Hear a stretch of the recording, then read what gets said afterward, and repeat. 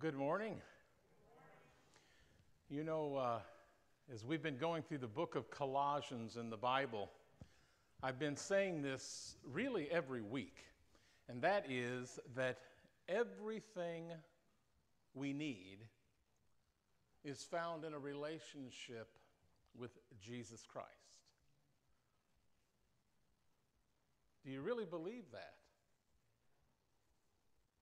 It's in times that are trying, like now, that we really begin to find out. First, what do we really need? And secondly, can we find that in Jesus Christ? In Colossians, in chapter 1, especially verses 15 through 19, we saw some pretty amazing things about Christ. The reason everything we need is found in Christ is because of who He is. And we need to know who He is and because of what He has done. We saw in those verses that He is the Creator, that He is the one who is before all things, and that by Him, that verse said, all things consist or adhere. He's the glue that holds the universe together. We saw that all things were not only made by Him, but for Him, and everything finds its purpose, including you, in Him. We saw that He is the firstborn from the dead, that is the pathbreaker, the one who conquered death, that He is the head of His body, the church. We saw that He is the visible image, that passage said, the visible image of the invisible God, and that all the fullness of the Godhead finds its completeness and dwells in Him. Now, as we pick up in verse 21 of Colossians 1, I want you to notice how the Apostle Paul descends from these vast generalizations and vast explanations of God that he creates all things visible, invisible, before all things. From these vast picture all the way down to the closest, most personal application. In those verses preceding this, we see that this is what's true about God. Now we find, okay, here's what's true about you. We pick up in verse 21. It says, once, and you might circle this, you once before you came to Christ as Savior, once at a time in your life, whether you knew it or not, once you were alienated, separated from God, and look, you were enemies in your minds, in your heart, because of your evil behavior. The Bible declares that there is a huge gulf between man and God. In that inseparable gulf, that chasm, without Christ, you are alienated from God. And the signs of you being alienated, for example, are that you don't really like to talk about God, or you have no desire to do His will. You want to do what you want to do. That's the very definition of sin. I do what I want to do. And this alienation doesn't end with just being indifferent toward God, just being apathetic toward God. It actually leads to hostility towards God and towards the things of God. A person without Christ may feel some kind of a, oh, kind of a complacent regard towards a God of their own imagination. And a person without Christ may be uh, a good person in the eyes of other people. But in their hearts, there is an aversion, a hostility to the true and living God. And really, isn't that a strange thing when you think about it? That there should be such hatred toward Jesus Christ, who is the Creator. Isn't it odd that there would be such hatred and hostility and aversion towards God, who is the source of any blessings that we have? That's kind of illogical. I mean, it might be more understandable if he was a merciless, hating God, an uncaring God, but the opposite of that is true. And it's important that we see that. It's important that we understand when the Bible says that all around us, this life, it's not about flesh and blood. That's not the enemy. It is a spiritual war that is going on. And this animosity of man towards God and towards the things of God, it is there because man, the scripture says, is utterly, totally depraved. I'm going to say something that is really not popular, but it's a truism. Man is not basically good. Man is not basically good. And in fact, you are alienated from God and you are under his righteous judgment for sin, John 3:36, but when you turn to Jesus, and you simply cry, Be merciful to me, a sinner. When you simply say in your heart of hearts, I need you as my Savior.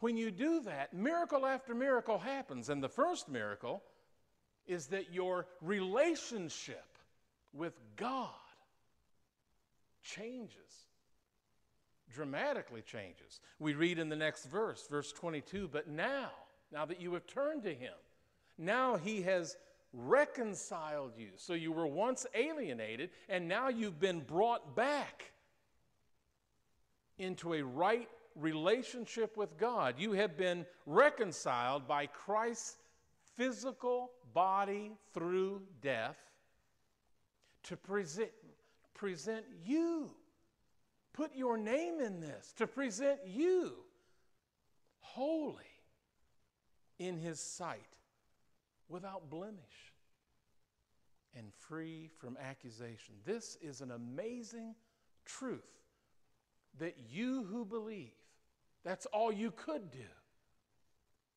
There was no good work in you to do.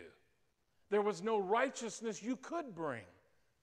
You were totally helpless and hopeless, dependent, alienated from the God who loved you and who pursued you.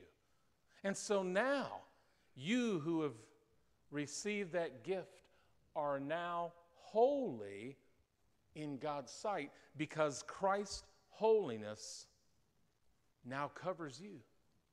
You are righteous because of Christ's righteousness. It is imputed or transferred to your account. It's an incredible thing. And then look at that verse at the end. It says, free from accusation. I would encourage you to write these words down somewhere. Circle this. Think about this. In the eyes of God, you are now free from accusation. That is a judicial term that means every charge against you Every charge against you that you were guilty of is now gone. And you were guilty. You broke every law. You have lied. You have coveted and been envious of what others have. You have put other things and people in front of God, have you not? You have said, done, and thought. You have broken the law. You are guilty. And the judgment is death, eternal separation from God. And look, every charge against you has been dropped. You are now justified in God's eyes. This is vitally important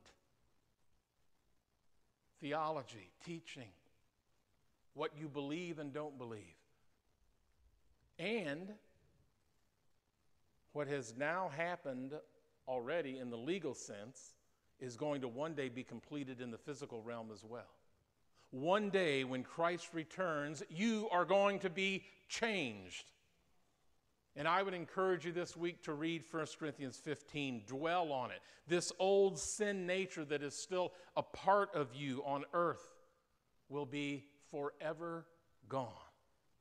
And you will receive a glorified body, perfect, incapable of sin, recreated, fitted for an eternity in the heaven that God has created.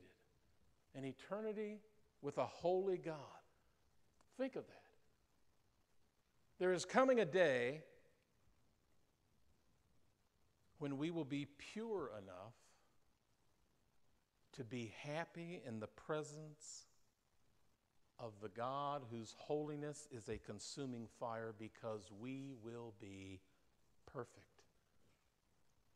And God's glory will cover us and be demonstrated in us.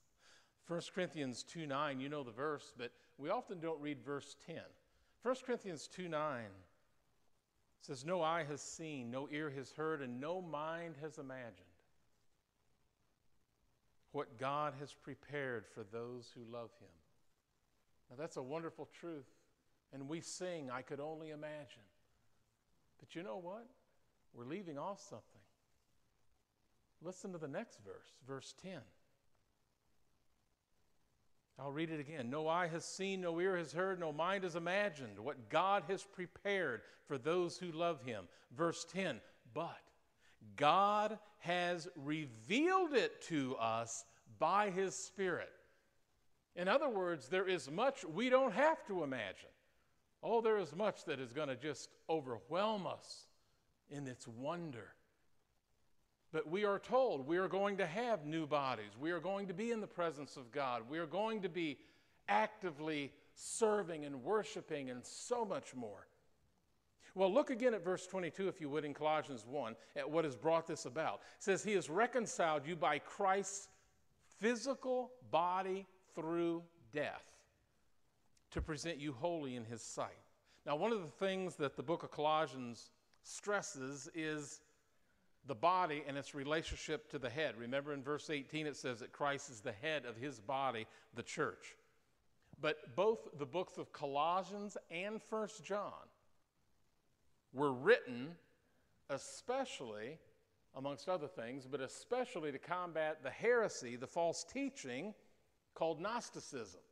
And one of the false teachings that came out of that, which is still with us today, because Satan's errors and lies never die. He just repackages them, and the next generation thinks they've discovered something. The cult of Christian science. Now, you may say, oh, Pastor, that's not nice. I know people who are in Christian science and things, and they're good people. The religion itself is a cult. And Christian science and many of the New Age teachings and other things focus on what is being combated here in this first century writing called docetism. It's in your notes. It's a Greek word that means seem to be. And this led to dualism where everything is in twos spirit and physical, mind, matter, good and evil. And they said in their teaching that the mind or the, the spirit is good, but matter or physical, including the body, is evil. And so then they taught that everything that you see in the physical world around you has a spiritual counterpart. Therefore, only spirit exists. Matter only seems to exist. So when you have a physical problem, you're supposed to just say, I claim it's not there. It's really not there. Because that's evil. And so the Gnostics taught, just like Christian science and other groups today, that Christ appeared on earth in a spiritual body. And they say, since he had no physical body, he only, here's the Docetism, he only seemed to suffer and bleed and die on the cross. Mary Baker Eddy, the founder of Christian Science, said the blood of Jesus is not efficacious, it is not beneficial, it is not real, it only seems to be. And so in verse 22, Paul is saying, No, you have been reconciled, you've been restored by Christ's physical body through death. The Holy Spirit is emphasizing this to us for a reason. In verse 20, Paul talked about the blood of Christ. Well, blood can only come from a physical organism. Listen to the Apostle John in 1 John, not the Gospel, but the Epistle 1 John, chapter 1. He begins by saying, when he, listen to how he stresses the physical aspect. He says in verse 1 We proclaim to you the one who existed from the beginning, whom we have heard and seen. We saw him with our own eyes and touched him with our own hands. He is the word of life. In other words, he's saying he didn't just seem to be, he is real. Now, why is this important? And why would there be a teaching like that?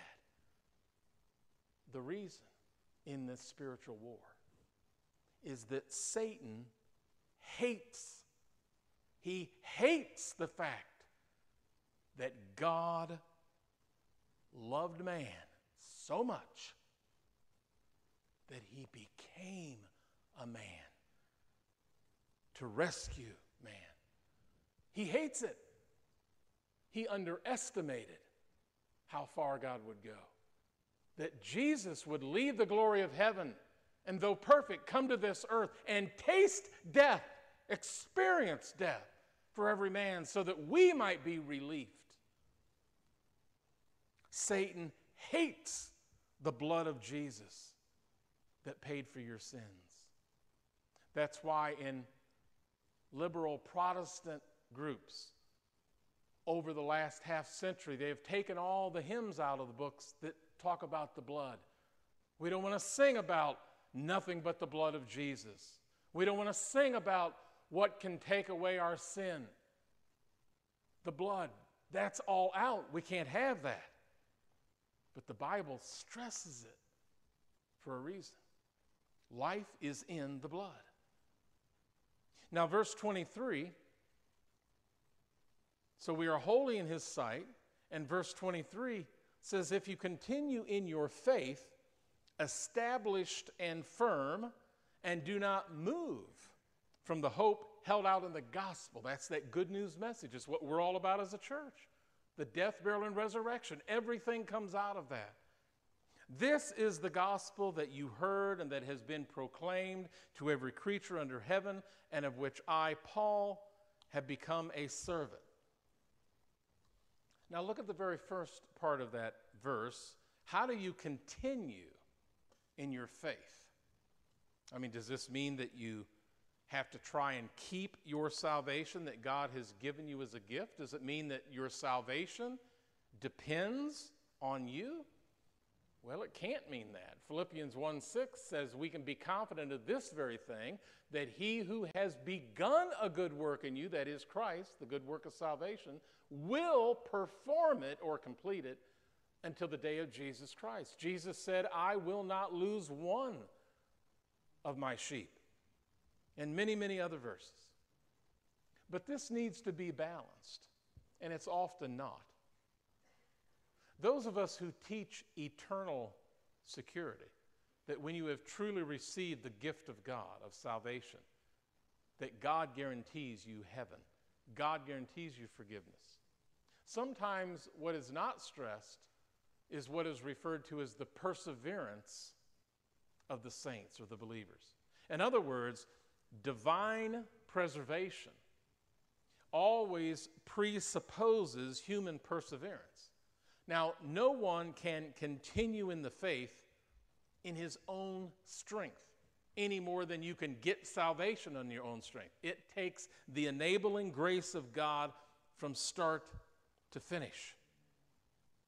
But there is a human responsibility to continue in the faith and become established and firm, as the verse says, to not go back to the way of living that you did before you knew Christ. A human responsibility, but there is a divine enablement to carry out that responsibility.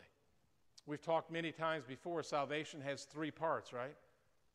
There are three aspects or meanings there's a past, present, and future.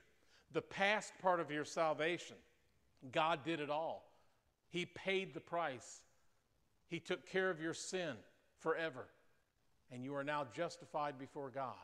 The future part of your salvation, your ultimate glory, is guaranteed. God has a place reserved in heaven for you, an inheritance, First Peter says, that cannot disappear or be taken away. But the present part, living in this life now, what is called sanctification, the living out of your salvation in this life, is a partnership. That is a participation. You have a part and God has a part. And your part, we know what it is. It is to walk with Christ, to walk in His light as He is in the light. It is to remain in Him. It is to read His Word and pray and serve and study and give and be a part of all that He has in this abundant life for you. Sanctification, that part of your salvation, means to be set apart for God's use. We are no longer pigs in this dirty world, we are sheep. We are no longer estranged from God, we've been reconciled to God and we are to live like children of the King. We are no longer paupers.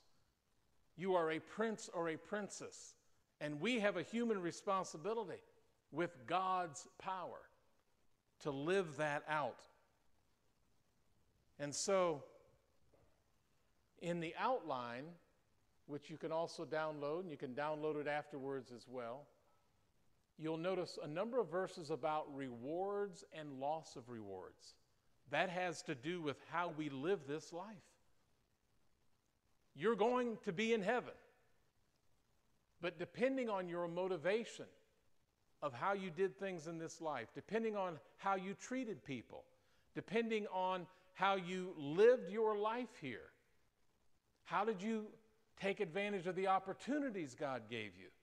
How did you use the time and the treasure and the talents and all that He has given you? God is going to reward you for that. Now, there will be loss of rewards, meaning that if I do something for somebody, but really the motivation for why I did it was about me, that was my reward right there. But when you do something for God, and maybe nobody even knows about it, or you do something for God just out of pure love, or you sacrifice in some way, God sees that and He will reward it. What an incredible God we serve. Now, verse 23, Paul says, I, Paul, the very end of the verse, have become a servant of that gospel. And because he was telling people about Jesus Christ, because of that, he was terribly persecuted. They tried to kill him on a number of occasions. Paul suffered terribly. In fact, he was in prison facing execution before Nero when he penned this letter. And yet, he says in verse 24, Now I rejoice in what I am suffering for you, and I fill up in my flesh what is still lacking in regard to Christ's afflictions. Circle that word. For the sake of his body, which is the church. I say to circle the word because some use this verse to say that Christ's work of paying for our salvation wasn't finished. And so they say, we ourselves, we need to have penance and indulgences and purgatory and other things that man has invented because we have to make up for what Christ did not finish. Well, first of all, it makes no sense because if Paul says in this verse that he supplied in his suffering what Christ failed to supply, whether it be nothing left for us to supply. But secondly, it's contrary to Scripture. You remember just before Jesus was arrested, before he went to the cross, he prayed to the Father in John 17 4. He said, I have brought you glory on earth by finishing the work that you gave me to do. Well, what was the work? Why did he come to this earth? Well, let's jump ahead. Look at Colossians 2:14. Here's the work. Having canceled the charge of our legal indebtedness. We were legally indebted because we broke God's law by sinning. And we deserve the penalty of death, which is eternal separation from the holy God. That's the work that Jesus came to earth to do. Look, having canceled the charge of our legal indebtedness, which stood against us and condemned us, he has taken it away, nailing it to the cross. Oh, there's more, but we'll have to wait for chapter 2. That's an exciting part. Jesus' last words on the cross in John 19 30 it is finished. It is finished. And then it says he released his spirit. In Hebrews 10 11 through 14, it says that Christ offered himself as the one sacrifice for sins forever. And then it says, then he sat down, which is a picture of being finished with the work. He sat down at the right hand of the Father. So, looking back at verse 24, if that doesn't mean that we should try to complete the sufferings of Christ for salvation, which it clearly doesn't, well, then what does it mean? Well, this is interesting because remember, even though Christ, by means of the afflictions he endured, he rendered complete satisfaction to God as judge. But the enemies of Christ were not and are not satisfied. They hated Jesus and they hate Jesus and they wanted to add to his afflictions, but since he was no longer physically present on earth, their attacks, which are meant for Christ, come against who? The believers, Christians, his followers, his body. We are his body on earth.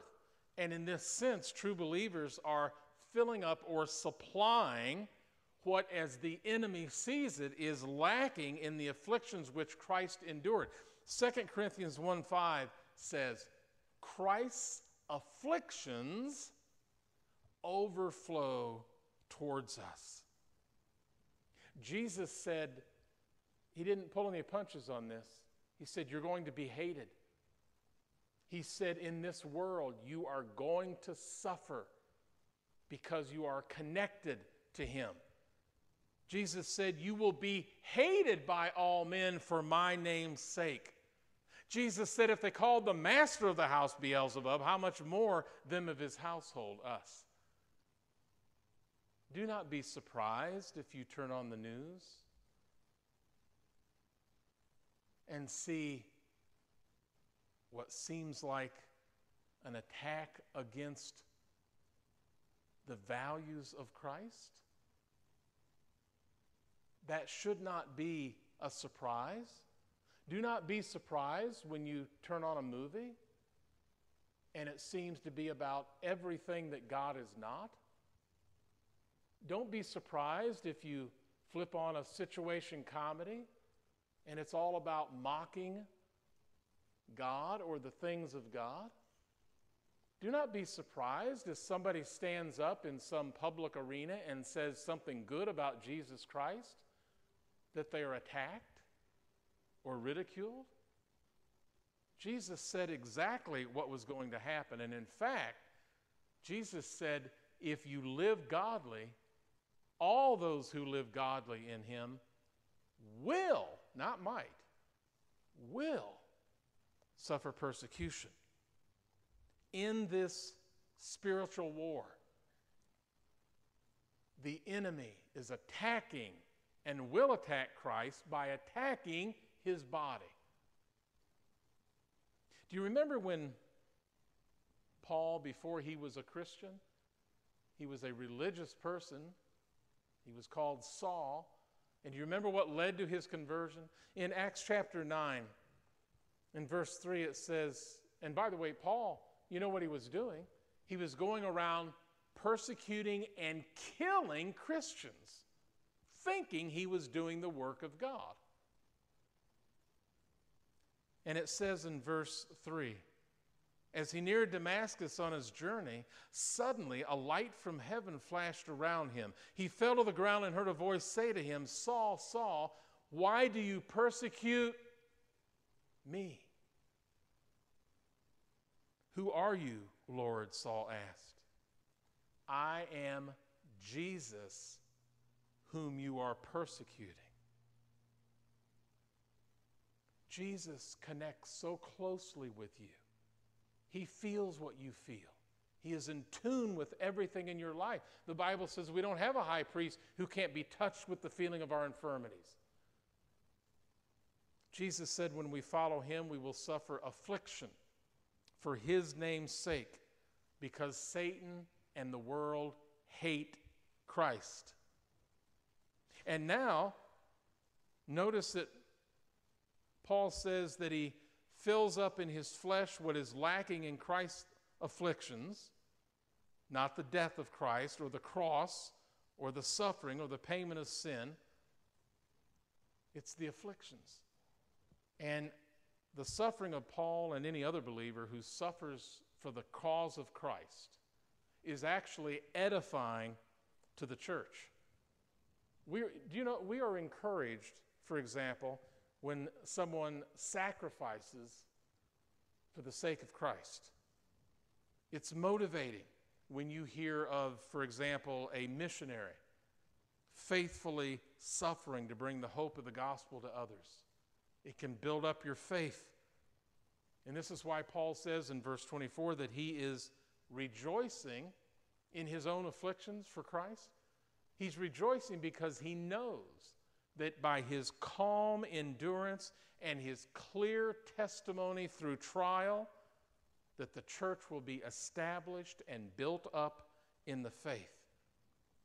It's a poor analogy, but it really is kind of like a quarterback that gets blindsided and sacked with a dirty hit by the opposition, the opposing team, and his nose is bloodied and he's knocked down, and then he just jumps right back up and he says, Come on, guys.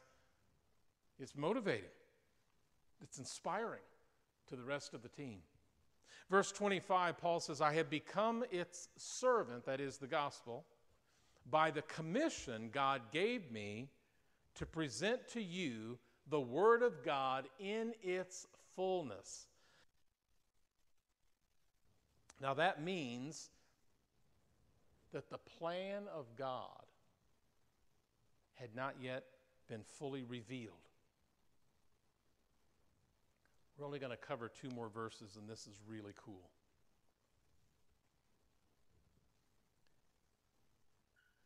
For hundreds of years,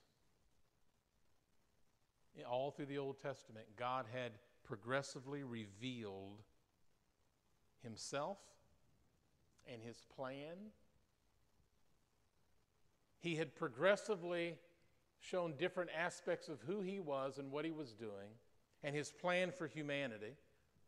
It began through the Jewish nation, Israel, that he had selected and he had separated them out from all other nations. They had received the law so that man knew what was right and wrong. There were feasts to celebrate that all symbolized what was to come. There was a whole sacrificial system set up and a priesthood so man knew he couldn't just approach God. He needed a mediator, a go between. There were, he needed a sacrifice. There were many, many things that God, step by step, kept revealing to man. But the Bible, God's story, wasn't yet complete. and the plan of God had not yet been fully revealed. And now, in this verse, Paul gets to fully develop it and bring completion to the revelation. And here it is. Verse 26 the mystery. Now, mystery means uh, something had, that had not yet been revealed. The mystery that has been kept hidden for ages and generations, but is now disclosed to the Lord's people. That's you. The mystery was not some secret teaching like the Gnostics were looking for, it wasn't some ceremony. The mystery instead was a person, a truth that would have remained unknown had not God revealed it. It had been hidden from man. It was in the plan of God, but it hadn't been historically realized. And now it was being revealed or made known to born again believers. Here is the mystery, verse 27, and this is a mountain peak verse in the Bible. We so don't appreciate this, but if you would have been living back then, or any time in the hundreds of years before then, your mouth would have fallen open and your mask would have fallen off. Look at it, verse 27. To them, that's you, God has chosen to make known among the Gentiles, the dog, the scum, not the chosen ones, the glorious riches of this mystery, which is Christ in you, the hope of glory. I, I, I do not have words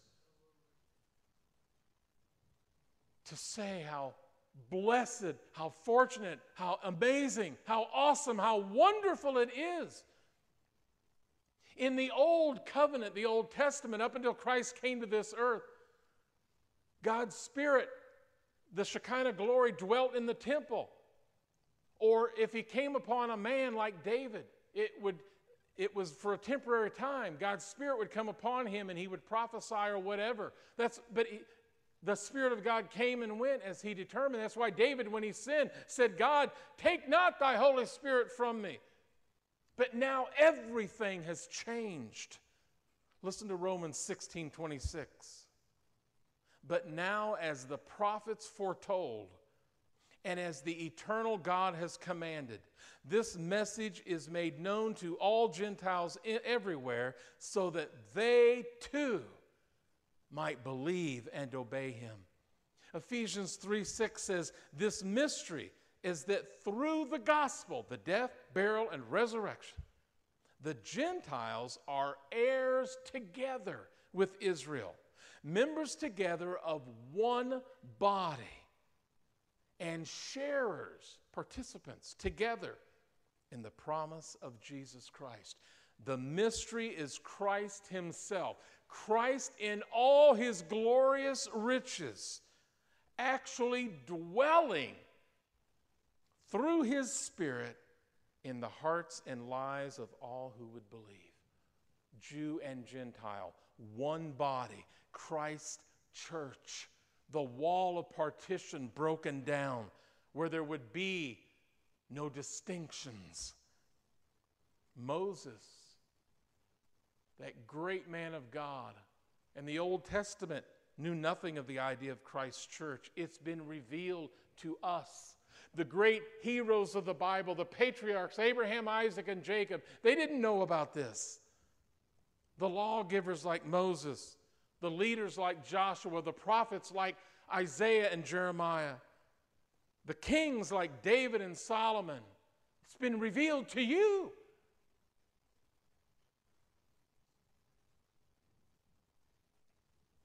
Even to the apostles. During Christ's earthly life, the mystery was hidden. Before Paul's conversion, he would have been shocked at this as a blasphemous heresy. The mystery was that the glory, the person of Christ Himself. Not just His teaching or just His works, not just His example, but Jesus Himself in us as His temple. And it also means then what we can now look forward to in the future because Christ is in us and we are in him. And that's why verse 27 then says, the hope, that word hope means confident, ardent expectation of glory, full redemption, salvation completed. Imagine. Imagine new, incorruptible bodies, incapable of sinful thoughts or actions. Imagine timeless, holy, without blemish. You. Unreproachable. You. Forever without charge or condemnation. Forever in the presence of God. Whatever you may be suffering through in this brief time on earth, particularly if you are suffering for doing right, particularly for that. But whatever you are going through, remember Romans 8 18. Paul says, Our present sufferings not worth comparing with the glory that will be revealed in us. Remember how we started in verse 21 with being alienated and enemies with God in our minds, but now we have the hope of glory. And that glory is dependent on the glory of Christ, which he won when he triumphed over sin and death on the cross, and he triumphed over the grave in his glorious resurrection. When God says that now I will never leave you or forsake you, uh, you need to take that in more deeply than ever. When God says, I keep your tears, I keep track of them. When God says, that no temptation has come upon you but that which is common to man, and God is faithful and not will allow you to be tempted above what you're able, but will with the temptation make a way of escape. When God says to you that He is interceding for you, that He is praying, Christ is praying for you. Romans 8:11 says the spirit of God who raised Jesus from the dead lives Circle this. In you. When he says he will give you wisdom, when he says he will guide and direct you, when he says he will comfort you, he will encourage you, he will counsel you, he will convict you, he will do everything that you need. He lives in you. And just as God raised Christ Jesus from the dead, He will give life to your mortal bodies by this same Spirit living within you. The Bible says now, in this new time, you are sealed by the Holy Spirit. And this, this is how His adequacy can satisfy my every inadequacy. Christ in me, the hope of glory. Christ in me, the hope of glory. Will you say that with me? Christ in me, the hope of glory. Once more. Christ in me, the hope of glory. This is why the promises are true. This is why Philippians 4:13 takes on an entirely new import. I can do all things through Christ who literally infuses inner strength into me. Everything of importance that we ever need is found in a relationship with Jesus. Let's pray together and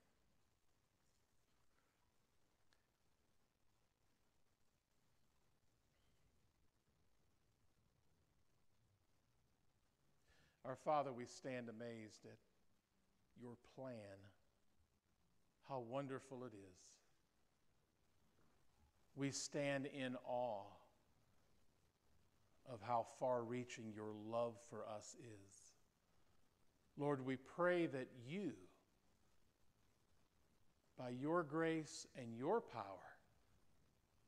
would enable us to continue in the faith as we should, being firm and established,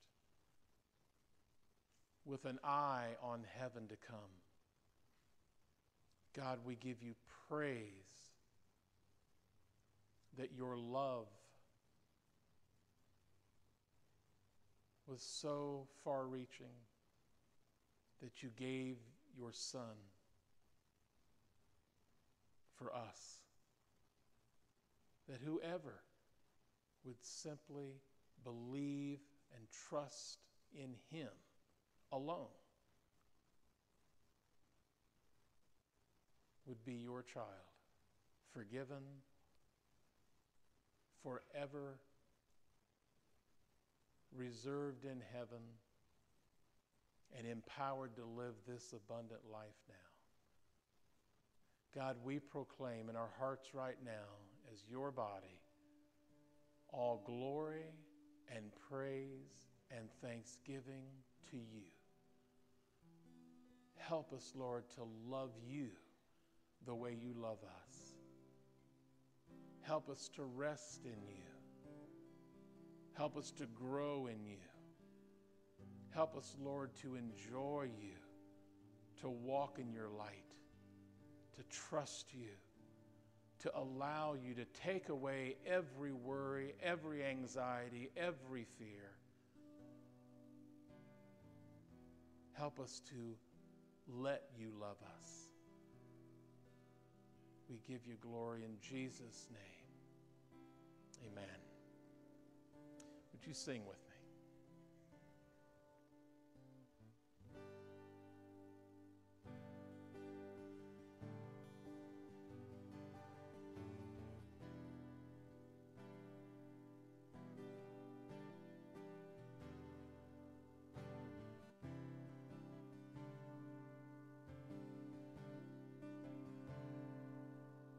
The splendor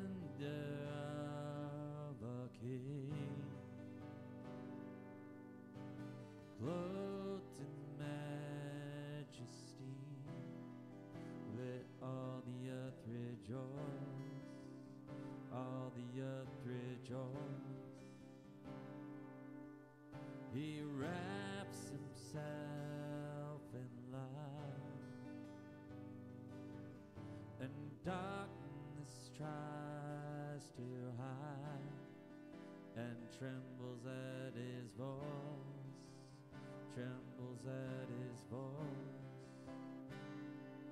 How great is our God? Sing with me, how great is our God? And all will see how great, how great is our God.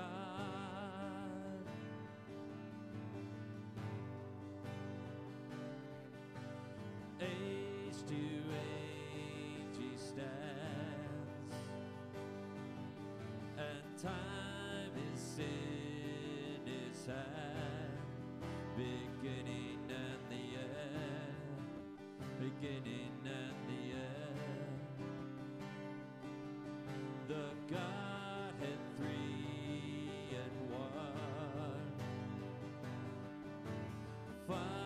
the spirits of the lion and the lamb, the lion and the lamb.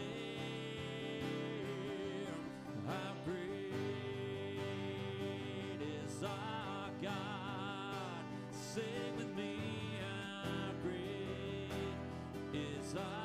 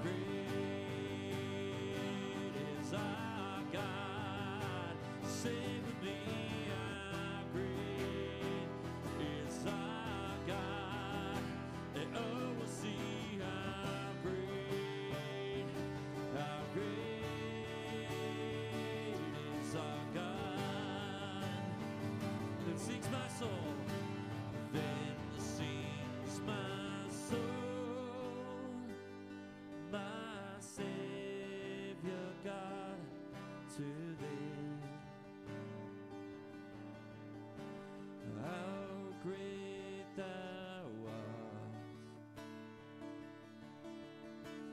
How great thou art! Then sings my soul, my Savior